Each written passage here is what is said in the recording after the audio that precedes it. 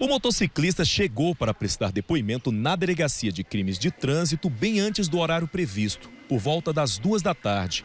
Acompanhado de um advogado e também da esposa, ele ficou por mais de uma hora conversando com o delegado. O homem, que pediu para não ser identificado, disse que no dia do acidente, ele e a esposa voltavam do trabalho de moto quando foram fechados pelo motorista do ônibus. O ônibus saiu da pista da direita e veio para a pista da esquerda, jogando, me fechando. E o pessoal do ônibus estava gritando, ó o motoqueiro, ó o motoqueiro. Foi quando eu consegui desviar. O motociclista disse que no dia do acidente ele quase foi atingido pelo ônibus. E que assim que percebeu que o ônibus tinha atingido a árvore, ele decidiu ir embora, porque ficou muito nervoso. Hoje, ele não faz o mesmo percurso e acreditou que naquele dia seria atingido pelo veículo.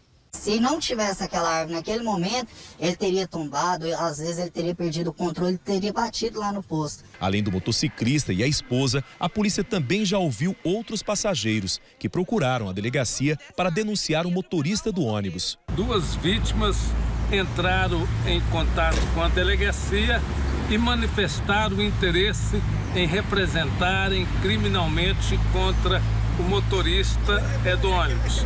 Então vamos dar início às investigações. O acidente aconteceu por volta das sete e meia da noite da última segunda-feira, com o ônibus que faz a linha 052, terminal Vera Cruz, Campinas Centro.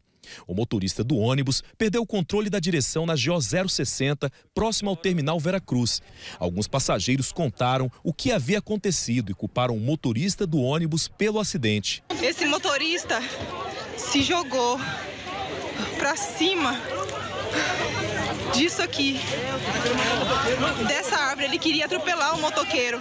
Esse outro vídeo mostra o ônibus por dentro, com os bancos quebrados e vidros estilhaçados pelo chão. Ao todo, 16 passageiros ficaram feridos e foram encaminhados para vários hospitais.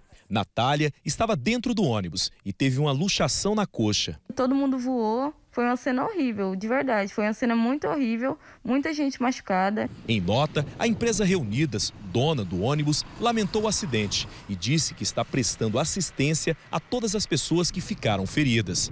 A Polícia Civil deve ouvir o motorista do ônibus nos próximos dias.